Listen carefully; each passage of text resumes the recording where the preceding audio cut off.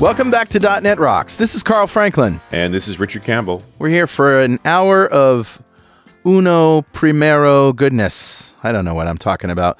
It's going to be a really great show. That's what I mean. You're excited. I'm super excited. As Mark Dunn used to say, I'm higher than a prom dress in June. Nice. I'm jacked up Yeah. higher than a California condor on ecstasy. this is going to be more fun than a fun June than bug a on June a bug on a string. string. All right. Anyway, Oh, uh, so yeah, let's just roll the music so we can get to the content and uh, better know framework time. Yeah. Awesome. All right, man. What do you got?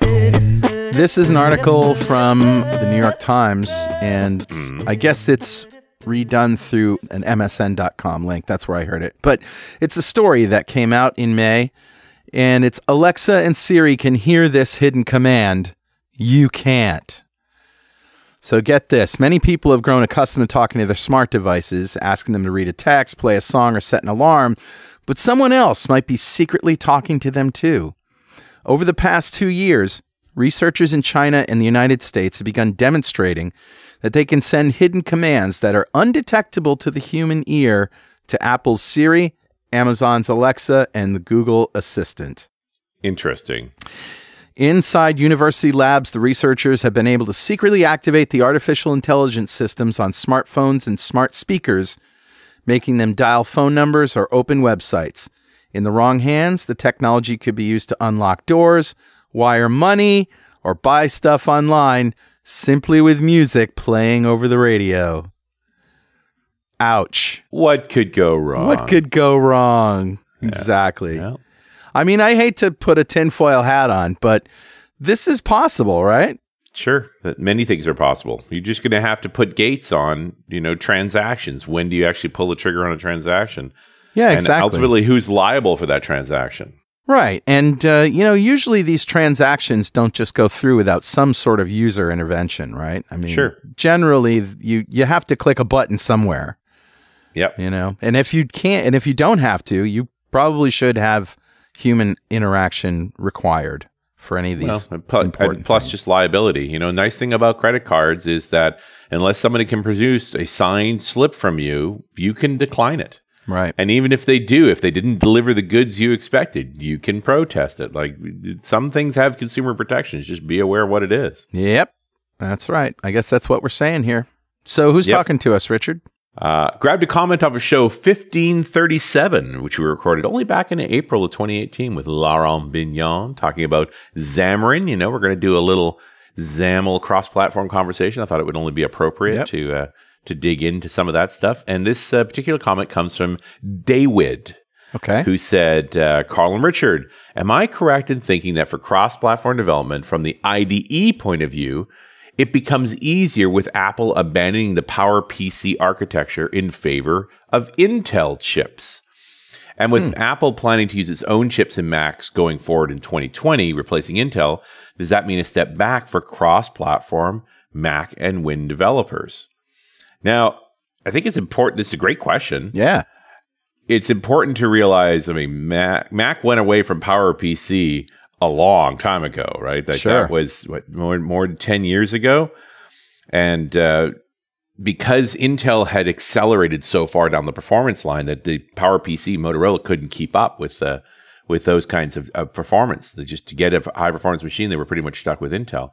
What Apple has recently announced is they're going to start using their custom versions of ARM chips, the ones they use in their iPhones and their iPads, in PC like infrastructure, in Mac like machines.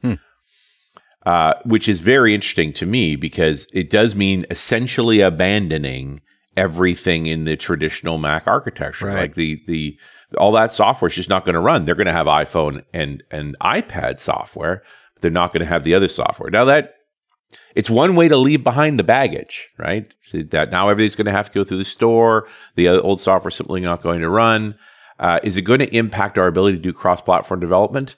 Not really, because we're already doing cross-platform onto ARM. So Uh, those abstractions exist. It'll take some time for the developers to tweak and tune the essential issues. Certainly, the UI pieces are going to be interesting, but I would expect support for it to come fairly quickly, given adoption of the devices. Right. What if Apple does this and nobody buys it because I really wanted a Mac and it doesn't run Mac software? Right. It's like I already had a big iPhone. I call it an iPad. Now you made me a bigger iPhone. So uh, it, it, it absolutely is doable. I don't think it's necessarily an impediment. The question is whether or not it'll be relevant, and we're just going to have to watch and see. It's going to happen in the next couple of years. Yep. I agree, Richard. Yeah. Dawid, thank you so much for your comment. A copy of Music to Code By is on its way to you. And if you'd like a copy of Music to Code By, write a comment on the website at .netrocks.com or via any of our social media because we publish every show to Google Plus and Facebook. And if you comment there and we read it on the show, we'll send you a copy of Music to Code By. And definitely follow us on Twitter. He's at Rich Campbell. I'm at Carl Franklin. Send us a tweet and you'll be numero uno in our book. Ah, that's sweet. Uh, isn't that nice? Okay, Isn't let's nice? bring on our rock stars today. Francois Tanguay and Jérôme Laban are a couple of guys that are working on this Uno project, and let me tell you all about them. Francois is the CEO and founder of Inventive, a digital experience agency founded in 2008 with a family of over 120 passionate individuals.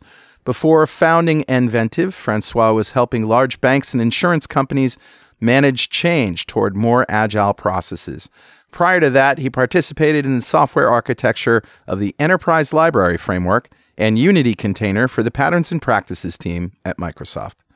Jerome Laban has been programming since 1998, mainly involved in .NET and C Sharp development as teacher, trainer, consultant in France, and is currently a software architect at Inventive, building mobile apps in Montreal, Canada. He's been working for the past few years on building the Uno platform to improve the development cycle of cross-platform apps using Windows, iOS, Android, and WebAssembly using Mono and Xamarin. Welcome, guys. Welcome, Francois. Hello, gentlemen. Thanks for having us. Welcome, Jerome. And uh, just so we can identify your voices, I think Francois was the first one who spoke there. Yes. I was, sir. Okay. And Jerome. Yes. Uh, you guys, uh, we got hooked up at Build, and somebody said you gotta you gotta go talk to the .NET Rocks guys, and we said, yeah, just come on over and talk to us. And uh, once once you told us what this was all about, our head exploded, and we had to have you on the show. What is Uno?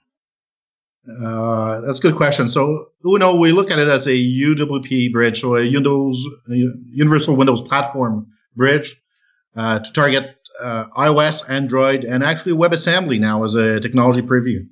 So we, we really look at it as a UWP everywhere kind of recipe where you build it once with a promise that it'll run everywhere. Now, so this is a an, an experience that's very similar to Xamarin Forms. In other words, you have a template that you download, and then when you build a new Uno app, you get the multiple projects, and just like you do with the Xamarin Forms app, a UWP project, an iOS project, an Android project. The difference is, right, in the in the stack that you use for XAML. You're actually you guys actually rewrote the the XAML stack of UWP for all three of these platforms. Is that right? It is, and, the way we approach that, uh, we took a different road than what uh, Xamarin Forms did. So instead of trying to uh, invent a new XAML language or a new flavor of XAML, we looked at what Microsoft had did with the uh, had done with the UWP XAML, and we were we were like, this is nice, this is neat. The dev loop is amazing. If you're looking at the experience that a developer has today on a Visual Studio uh, tool set with uh, all the goodies of XAML edit and continue, C Sharp edit and continue, we really looked at it and figured out like if we were able to create a bridge and just re- keep this as our primary uh, dev loop experience, we'd probably get away with a better uh, dev experience, right? So because it's faster to compile, build, and deploy on a UWP stack on your Windows machine in Windows box, we figured out why not just create a bridge, and that's what's been happening over the years. That's no small feat. I mean, UWP is is big, and I mean, just like Xamarin Forms was no small feat. But uh, the immediate things that come to mind are there's so many things in UWP that are Windows specific, and you know, I'm thinking of the you know the hardware services and the other services that that the platform provides. So you had to sort of map those across, right? Was that the biggest challenge? Yes. So the biggest challenge was probably managing priorities as to what to tackle first. And if you're looking at it from a different angle, uh, we've been building this in the context of our software agency, right? So we're building mobile apps for a variety of our customers. So that really drove what features would be working on first and foremost. And still today, we're not promising to have 100% code coverage, but uh, of what UWP offers, because it is massive. Uh, we're reaching out, and that's probably the primary reason why we're open sourcing it today, is uh, as a reach out to the community to help provide whatever gaps are left and uh, implement those gaps, right? But we, as we've developed hundreds of mobile apps on top of it, we figured out that we'd have enough coverage that we could put it out in the community, and that you should be facing similar challenges that we've been facing across all the apps that we've developed, and that we have good enough coverage that it should be a usable tool for everybody to use. Wow, that's amazing. So, um, like I said, we were talking about some of those things that map, right? Like the like the mapping system, for example. You know, the yep. Um, Xamarin Forms has this basic solution where you just say, you know, bring bring up this location and whatever the mapping app is on the platform, and it just pulls it up. But I'm thinking of other um, uh, of other things that are that are Windows specific. You know, what what are some of the? Uh, is there anything that isn't exposed? In other words, is there anything that in UWP that you weren't able to translate to iOS, Android, WebAssembly? So there's a lot of things that, that can't be translated into uh, into iOS and Android, or, or or WebAssembly for that matter, depending on what APIs are provided. Uh, but basically, what, what we're trying to do is is um, provide a lot of abstractions uh, for the developers that want to do general development. So let's say, for instance, uh, you want to use the API for live tiles well, tough luck. I mean, it's not available on, on iOS and Android, so it's not going to map to anything. Uh, but if you want to use, let's say, uh, geolocation, for instance, uh, then at this in this case, yes, it's it's uh, it's mostly available. I mean, there may be some corner cases where it's not working exactly as the platform is going to be providing it. Yeah. So, and there's a way to escape the box and, and get access to the underlying platform. Uh, but you know, if you want to stick with what UWP uh, provided, that the the let's say somehow you know basic or the middle middle scenario is is okay for you, then then go for it and use the UWP implementation if it's not, it's available if it's available. Okay. But if you look at it and take a step back, the, the, true value of Uno and why we built it was to solve primarily UI challenges, right? Of being able to define a user interface once if you want to do it and have it being uh, pixel perfect across the platforms. Right. After that, for that extra two or five percent of the remaining code base that you have to target multi-platforms. Should it be for Bluetooth uh, communications or GPS access or camera access? If Uno doesn't provide it, you can still create your own abstractions or tap uh, into Xamarin.mobile or other frameworks that already abstract some of those services across platforms or even code it on a per platform basis, right? So the biggest challenges that we've seen and struggled with was to be able to get the same layout, the same rendering logic across platforms and right. get, the, get that pixel perfection. And that's where, like, if you look at the Windows UI set of APIs and contracts, that's where we've spent most of the time, right? With the binding engines, right. with styling, templating, and all that goodness. So down below is the Xamarin Mono stuff. Is it Xamarin or is it Mono or is it both? It's both, uh, but only on, on iOS and Android. On uh, WebAssembly, it's only Mono. Sure. Sure. And on Windows, none of the above. It's just running .NET. And the other thing that really impressed me when you guys talked to us was that you've been using this code base to write your own apps for customers that are actually in the store and running uh, on sites for four years. Is that right? Yes, since we started building uh, Uno. Obviously, in the beginning, we had a lot more friction uh, but now we can uh, write end-to-end solutions uh, with mobile apps for our larger customers across platforms with the Uno code base that we're publishing now to the community, right? So yeah, it's been it's been a struggle, but we're now there. That's amazing. Um, so I mean, and I didn't even have to see a demo of it. Uh, just the fact that you guys have been using it just is mind blowing. And and you said yes, it is free, and you're working on open sourcing it, right, on GitHub. Yes. So there's already a NuGet package available for people to play with, but we're planning to push out uh, uh, the sources within the next few days, if all goes well, for everybody to uh, enjoy. So the light bulb that went off for me, guys, is this solves Microsoft's XAML problem. And if it weren't for the fact that they own Xamarin, they're investing so much money in Xamarin, this would have been a much, much more elegant solution for them back when they had when the problem was actually acute. You know what I mean? Yes. Now it's just sort of like pick your own framework and uh, it's going to be work no matter what. Oh, you mean I can just take my UWP app and run it on iOS and Android? That's what we wanted all along, isn't it? So, and just to clarify that point, like we're playing nicely with Xamarin, right? even with Xamarin Forms in a sense. So we're sitting on top of Xamarin. Yes, we are similar in terms of uh, what's expected in terms of behavior and why we're building something in terms of UI across platforms similar to Xamarin Forms. Uh, we have uh, a different set of limitations or features that we've built on top of. But when I'm saying we're playing nicely with Xamarin Forms, Uno is rendering native uh, UIs on iOS and Android, right? Even right. WebAssembly. But let's keep WebAssembly apart for a second. Yeah. We're building uh, iOS and Android native apps using Xamarin. That means that not right. only could you integrate, and because we're a UWP based platform, it means you can integrate any other UWP uh, third party, right? It means you can integrate your Windows toolkit and have Windows toolkit run on iOS and Android now. Yeah. It means that uh, Laurent Bugnion's uh, MVVM Light runs on iOS and Android now without a specific targets, just with the UWP code base. Do you see that most customers are actually going to be starting with the UWP apps and looking to do cross-platform with them? Well, yes, and the problem and why we believe so is we've lived through it, right? And the promise right. where the, the dev loop and the developer experience on Windows using Visual Studio is far superior to anything else out there that we've enjoyed. Uh, mm-hmm. It's way faster. And just look at XAML edit and continue, right? You could spend your whole uh, seven hours in a day uh, running and debugging the, your source code without uh, ever stopping it, right? That's how powerful the tool is today.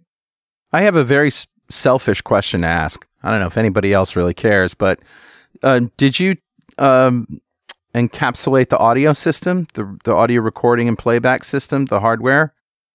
Not yet not yet, but it's been it's been uh, a few people have been asking for the the video part of it, so we're probably going to be taking a look at it. But yeah, it's been it's been requested a few times. But I'm pretty sure we'll accept your pull requests. Ah, yes. once once we're there, right? Yeah, exactly.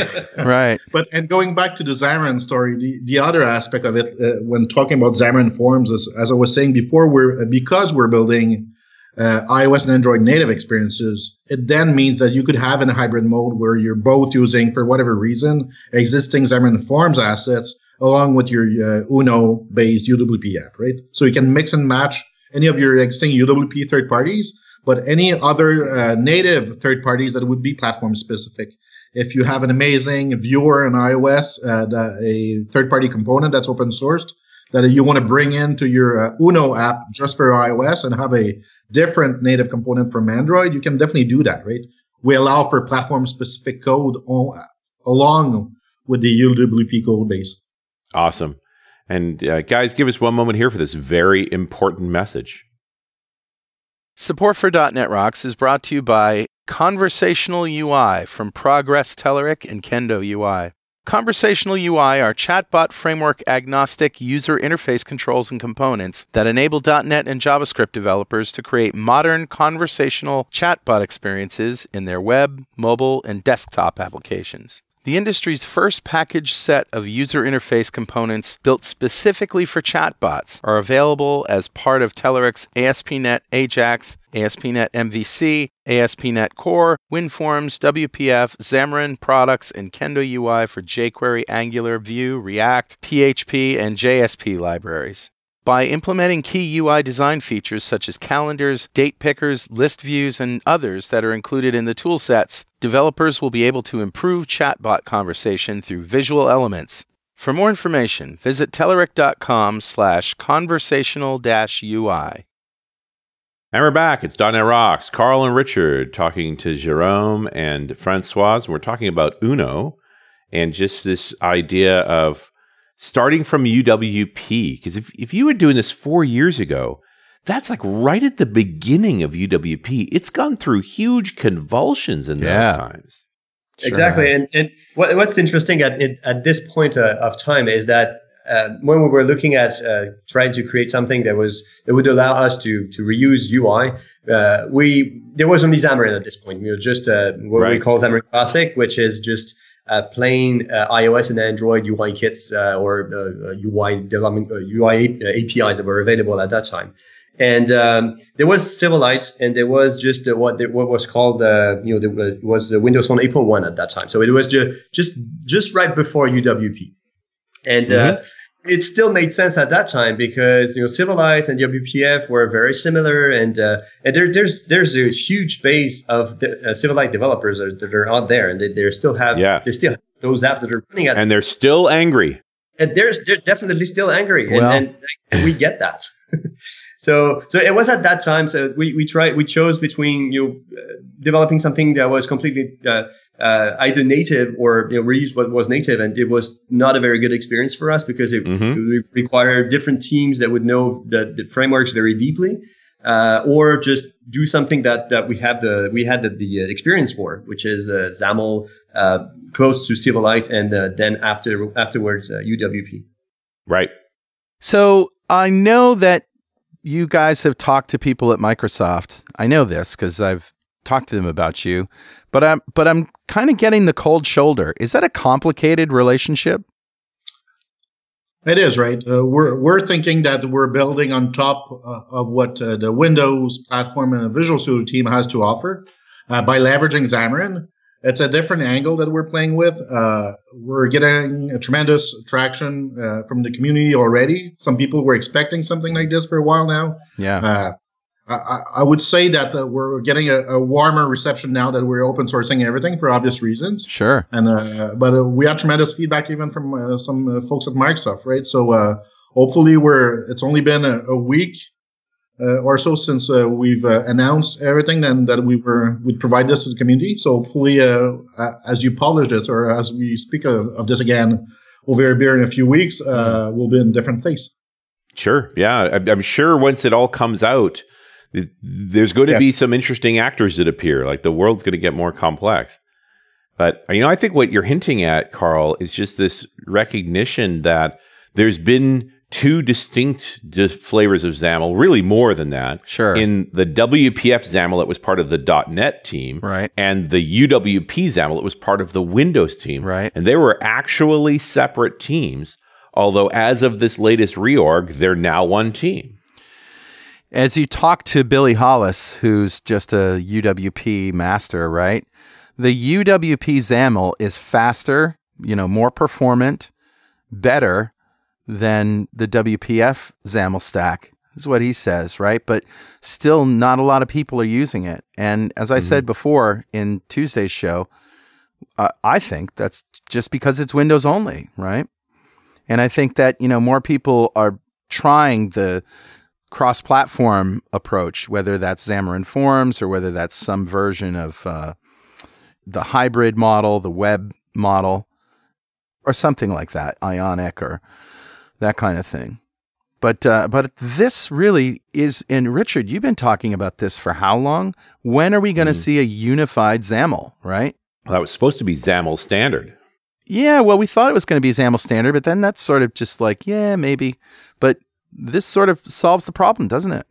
It, does, and when you're looking at XAML standard and why, like uh, you were mentioning, uh, the cold shoulder, right? Uh, you're looking at XAML standard as some intersection between the UWP XAML and whatever Xamarin Forms has in terms of XAML to come up with some unified contract, right? Mm-hmm. But if you're looking at a UWP first experience, UWP is your XAML contract. Whatever right. UWP offers, it is your contract. So you don't need a separate contract that would be a subset of UWP. As long as you have a close to 100% coverage on what uh, the Windows UI namespace offers, then you're in good shape. Obviously, you could go then go into the non-UI aspects as you've mentioned in Bluetooth right. and GPS and camera and file storage and the other aspects. But if you're able to get your app to the point where you get pixel perfection across platforms, you're in good shape.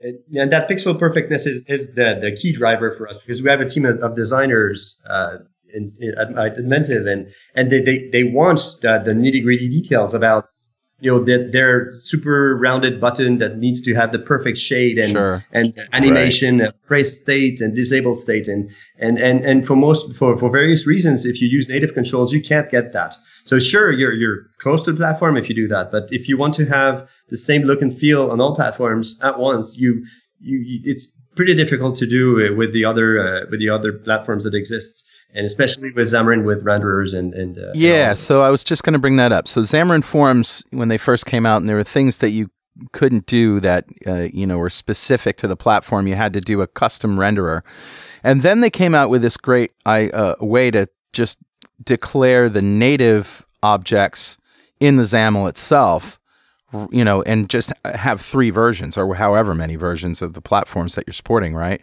So you'd basically have, um, you know, a declaration for an Android control, a declaration for an iOS control, and a declaration for a UWP control, and they would be in the same group, and then each one would render on their specific platform, and the others would be ignored. Do you guys have anything similar to that? So yes, yes, we do. But the thing is that uh, we, we've taken the approach in, in a more, let's say, a UWP-ish way. Uh, the, the way the, U, the way UWP works is that you have high level controls, like say, let's say for a button, for example, for example, and then inside of that button, when you template it, there's a notion of, of a presenter. Right. And uh, if you use the, the, let's say the native presenter, you can have a button that, that renders or uses the native button. So the same way you've, you've described, uh, using the native iOS UI button or a button from Android or HTML button or input button for, for uh, HTML. But there's the other way around, which is just drawing the button completely. So both ways are supported. Like when we say drawing, we mean uh, having a border, lines, uh, rectangles, and uh, and uh, anything that you have to to display your button in a more the highest fidelity mm. of this button. So conceptually, if you look at it, conceptually, it's still a button from UWP standpoint, but using control templating, look at it as styling, right? Either you use the native style or you use the unified pixel perfect style. You get to choose. That's great. It's wow. really cool. So we also like to ask our guests, and let's start with you, Francois. If you had $5,000 to spend on technology today, what would you buy? Uh, everything I can find from a home automation standpoint for the country house, right? So that my pool's warm when I get there during the weekend, and I have a simple app to that manages AC, uh, exterior lighting, and everything else. Hey Siri, drain the pool. or Cortana, right? Whatever works for you. Yeah. Okay. Good enough. What about you, Jerome? we didn't we didn't think on this, but it's it's the same for me. I mean, I've been. Oh, you guys are both doing home automation. automation. yeah, so yeah, automation. Very funny. It's just home everything automation. that I can find. Like uh, I just find out about uh, uh, custom vents that are uh, just uh, opening and closing uh, automatically to to adjust and have something that has a unified temperature across the whole house. So that's the kind of thing that I that I would want to push. You guys are into unifying, huh? yeah. we, we Uno house. it's very, very cool. And I can go on a diatribe about HVAC solutions for hours. In fact, I should probably do a geek out just on HVAC. I just don't know that anybody would listen to it. And, I hmm. probably would.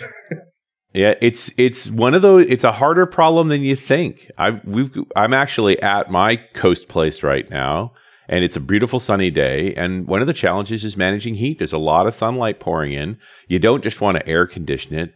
You know, I want a little pop-up automated vent in the top of the of the ceiling, basically that blows that hot air off and draws the cool air from the ocean in.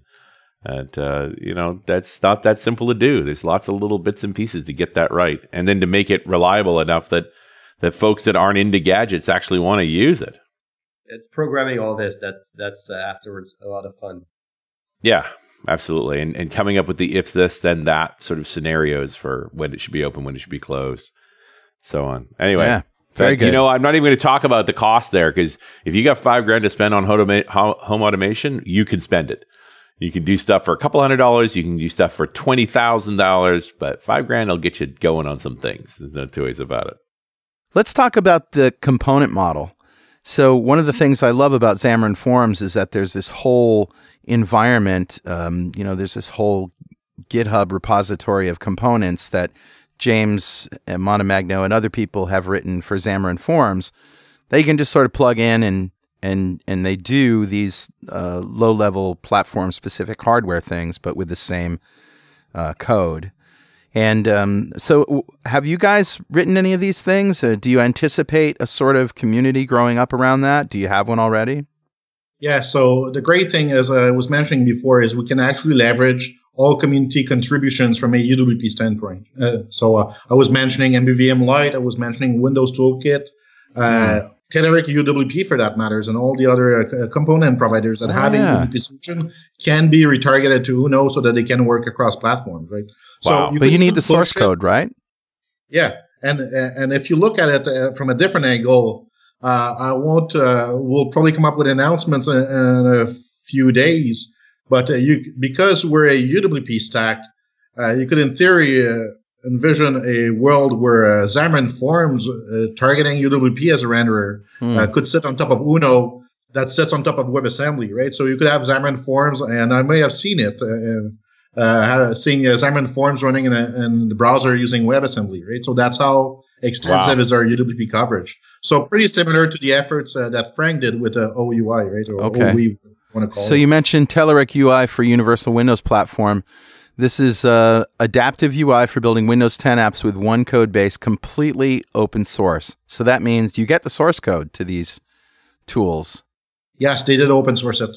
That's amazing. So you got like grid charts, data form, list view, all that stuff, calendars, uh, editors, navigation, visualization, geo visualization, and yeah. uh, and that can all go right from um, that code for UWP to iOS, Android, and and WebAssembly, and be completely responsive, right? True. Uh, during the build, as an example, right, they announced the data grid on UWP. And, and during that first night, uh, between cocktails, Jerome within the hour had it running on Uno, right? So we did we, on Uno on WebAssembly. So the next morning we were showing a screenshot of data grid running on WebAssembly. Holy crap!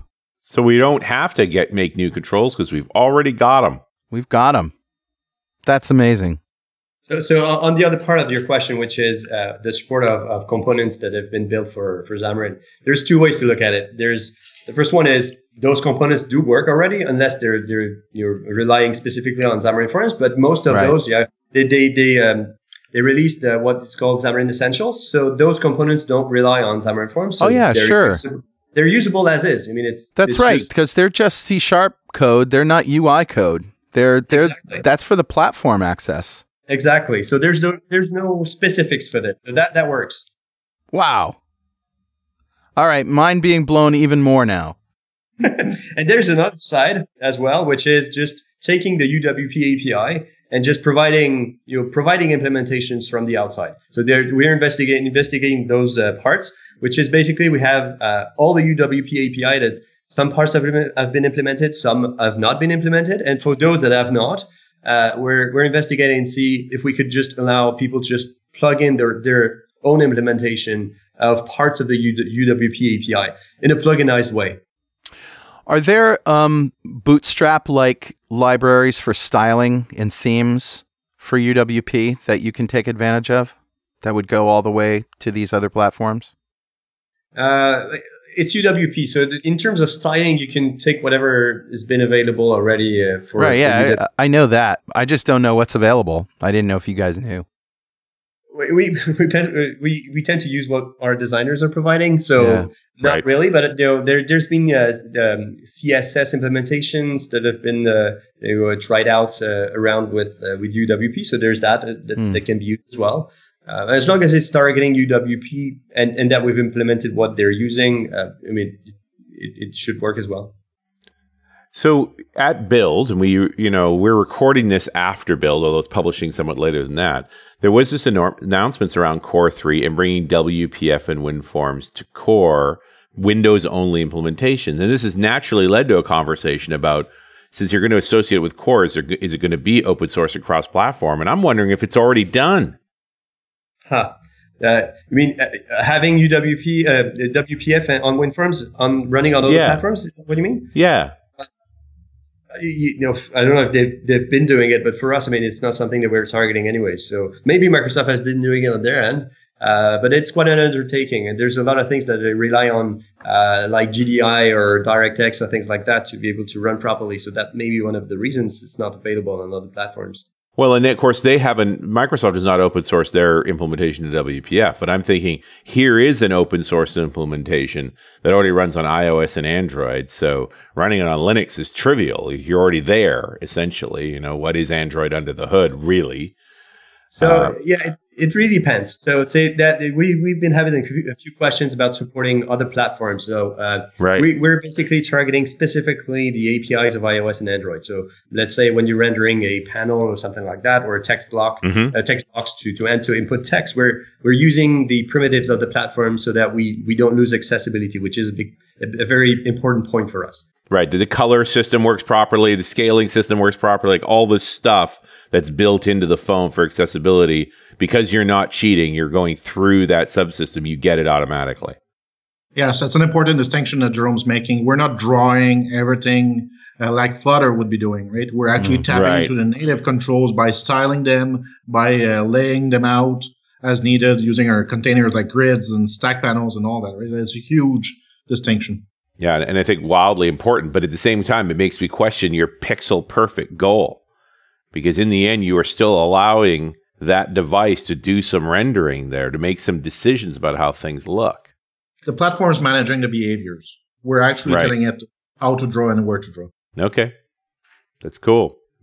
Hmm. Yeah, I am not about. I'm not a count the pixels guy. I just it's going to be a challenge to be that accurate. So I just found the um, the latest audio recorder plugin for uh, Xamarin, and it looks like uh, it looks like it works. So there's a it's an audio recorder plugin for Xamarin and Windows. It works on uh, Android, UWP, and iOS, and it records audio on a device's microphone input. So there you go. We could probably add the WebAssembly support as well because there's microphone APIs as well. Right. Wild. Uh, it doesn't work on uh, streams though. It's sort of just like a start recording, you know, stop recording, get access to the file with an event. So it's not like a, it doesn't look like there's a stream. Oh, wait a minute. No, it's also possible to get a stream to the recording audio data as it's being recorded. So, okay, I, I sit corrected. It looks like it works. Uh, it's only recording in wave audio format so far. And signal detection is not currently working as well on UWP. So that's, but it's there. Very interesting. I don't know if anybody else cares but me, but uh, there you go. What are some of the other challenges that you guys uh, faced when developing this stuff? So there, there's quite a few. Um, you know, compatibility explicitly for for UWP, let's say, to have a control that behaves exactly the same uh, across all those platforms is is quite challenging. You you make one modification and it happens to ripple around uh, all those platforms. So there's quite a bit of, of QAing to do.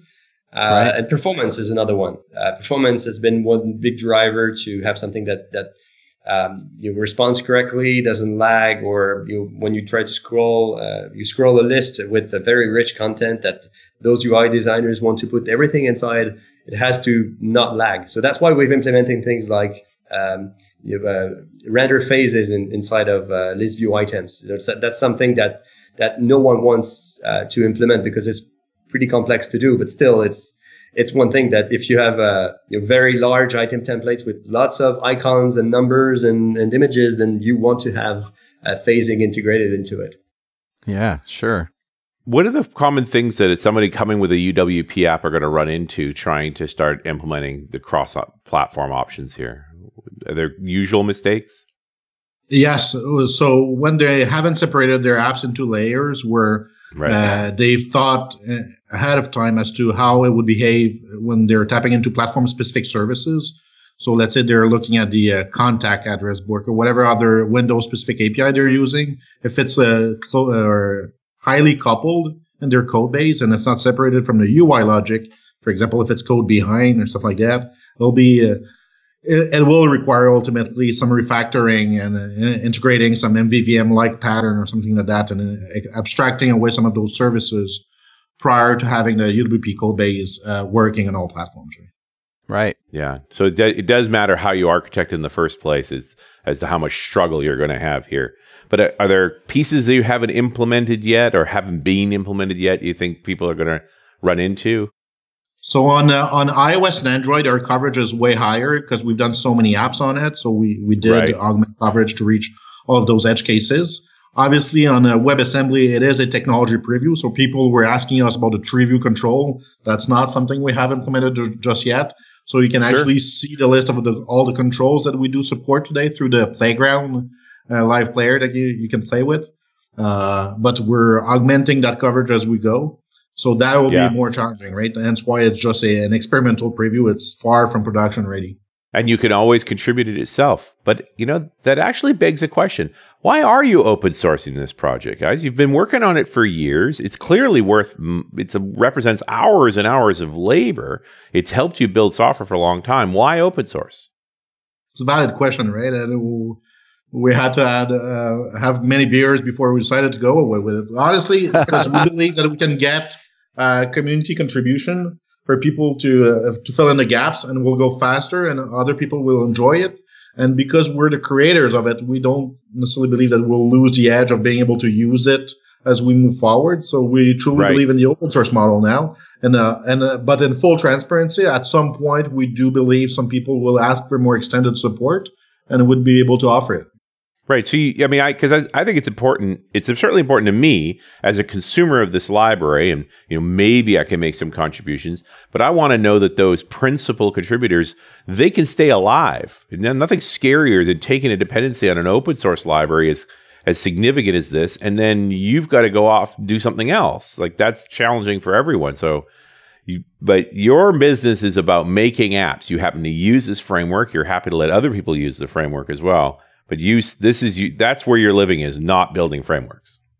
True. We have 75 mobile engineers Montreal using this tool day in, day out. Right. And so bringing in more people, just broadening that horizon, that's that's just making it better. Hmm. Exactly. Wow. It does seem to be a new business model, isn't it? That we're happier when our frameworks are open source and shared, and then it's what we build with them that becomes our competitive edge. And you guys have been cranking them out too, right? I mean, like I said, it's been four years, but uh, how many apps have you built with this thing? Over 200. What? Wow. What? yeah, it's our business, right? That's all we've been doing in the past. Obviously, we've diversified in web and Azure and other cloud offerings, but the core of our business today remains building large scale mobile apps, both enterprise and consumer grade. Yes. Amazing but primarily for customers. You're paid to build those apps. You're not. Yes. You're not Atley Hunter coming coming up with weird new apps and trying to find revenue streams for them. Totally true. Yeah. You know, there's the other aspect of the business model of open source is that you are going to meet customers who like this framework that are looking for tech support for it, that are want to sign a service contract for it long term. Uh, not for the code base itself, but for access to skilled people. And I guess that that's a potential business for anybody who gets talented with this framework. Yes, and we are, are already seeing agencies that are uh, interested in looking and providing feedback as to what we build with Uno and are willing and open to give it a try. Right? So uh, we're welcoming them. Right. And I guess you know part of this message is not we're abandoning this framework on, uh, into open source because we don't want to work on it anymore, but you actually want to make it bigger, and the bringing a community with you helps and we want to sell eventually enterprise support, right? So it'll be core yeah. to our business for sure. Sure. No, I think all those oh things are God. possible. Wow, uh, so dude, yeah, Carl doesn't want to talk anymore. Carl wants to write code. I, I just, know that voice. I just want to well. stop talking and download this stuff and play. It. I actually did um, do it, but my my laptop, uh, for some reason, is not able to run any kind of Xamarin stuff. Uh, the Android side, anyway. So I got I had a roadblock there you get into a funky state sometimes. Yeah, tell me about it. but once I figure that stuff out, um, it's going to be a lot of fun. Yeah, for sure. And we'll be there to help. That's awesome. I'm looking at the Uno playground, and it reminds me of Ooui. Look at XAML running in the browser. Yeah. Although I saw a note here that says runs better in Edge. I thought that's interesting. Opened up Edge, and yep, runs better in Edge. Yeah, ain't that funny? The Edge developers at the at Build were interested to see that they were the fastest running browser for that kind of uh, for WebAssembly. for WebAssembly, right. yes. Well, it doesn't sound like you guys have done a lot of optimization for WebAssembly. It's all experimental right now. But yeah, that, that that's the thing about about uh, Mono. So, so th- that story behind this is we looked at it in January of this year, and there was pretty much nothing that was you know, usable in a, in any kind of production way, or let's say Right. close to production. And then I look, I turn my head around and, and just look again, uh, let's say beginning of, uh, of April, and then there's something that works completely. And uh, it was completely unexpected. We started being, building on it and pushing things like reactive extensions, Roslyn, or things like that. And they, they mostly all worked perfectly. Uh, slow, perfectly. So we pushed the boundaries, and so you know what what could we do with Uno? And uh, the more we pushed, the more it worked. So we we ended up with the playground with with all this. So that's why we rushed an experimental preview a week before a build, uh, building something and announcing it uh, on that Monday morning. That's uh, really exciting. That is And amazing. it does speak to we're going to start evaluating browsers' abilities to perform WASM operations in the in the near future. If this path continues, I mean, it still feels experimental. I don't see anyone doubling down on WASM yet. We're j- it's all experiments, and you guys, I think, are no exception. This is an experiment. And if you have a chance to go look at the Google I/O uh, presentation where they showcase uh, Autodesk's AutoCAD running in, on WebAssembly, it's pretty amazing. Now that's a big WebAssembly. Holy man! it's like It is. The only thing that even would, you know, punch it the same way would be something like Office. Look, I got Outlook running in a browser. Oh, great. But uh, It's not too but to have It's not too auto to have AutoCAD, one of the ultimate legacy apps. I Right. mean, AutoCAD actually owns lines in Windows. Like if AutoCAD this behavior, that's the. It's a great example. Yep. Th- th- That's the thing about WebAssembly, though. Most people think about it about a, you know coming from a JavaScript background, just about doing Right. computational stuff uh, just in the browser. Uh, but that's not it. I mean, and the, the only reason we, we're keeping the experimental tag on the playground is because Mono is experimental in a way of performance. But in terms of, of behavior, it's it's pretty close to the the uh, the release mode of of uh, Xamarin on iOS and Android. So the behavior is perfect or most perfect, but it's just performance that's not there yet. But it's that's pretty much it. These are fixable problems. So it's uh, it's uh, the interpreter mode of uh, of Mono that's uh, that's been developed. Uh, they're they're pushing the AOT uh, ahead of time compilation uh, back into their branch. I don't I think during the uh, this month and next month. And once they do that, then the the performance going to be pretty close to to Metal. Uh, I, I I'd like to think that it's going to be 470 times faster than it is right now, just because that someone. Oh, and I'm not. I'm not just inventing that number. It's because someone made a uh, uh, a benchmark about uh, a C algorithm that was running in one millisecond using C compiled to WASM, and the same algorithm running in Mono uh, interpreted mode was running in uh, 470 times uh, at 470 milliseconds. So I'm, I'd like to Right. think that it's going to go that low in terms of Yeah. performance improvement. Well, they, we they, that's a reasonable supposition. It'll be interesting to see if it comes true. Guys, this is amazing. It's amazing, and uh, I hope everybody listening understands the how awesome this actually is and what it means. It's mind blowing. It's life changing. It's all of those things. Thank you for doing it, and thanks for opening it up for all of us to use. You're welcome. Now you have to play with it. Absolutely. That's why they call me Play With It Carl. Yeah, my, yeah, quote my friend Carl Franklin when we finish our joint talk on the development platform. Now go write some code. Now go write some code. all right. Talk to you guys later. Thanks a lot. Thank you. And we'll see you next time on .NET Rocks.